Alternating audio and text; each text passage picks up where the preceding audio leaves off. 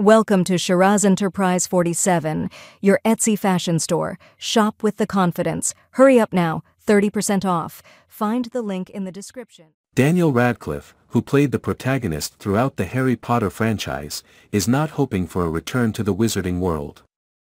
I don't think so, he told E! News last week, hinting that the series would benefit from a fresh start. I think they very wisely want to have a clean break. And I don't know if it would work to have us do anything in it, the Harry Potter alum said at the Drama League Awards on May 17. Despite fans' curiosity, Radcliffe admits he remains content with taking a back seat and rather watching the series as an audience. That he humorously sidestepped the hypothetical scenarios and quipped, I'm gonna be a politician about this and not deal in hypotheticals. For those unversed, Max, formerly HBO Max, announced the Harry Potter series in April last year.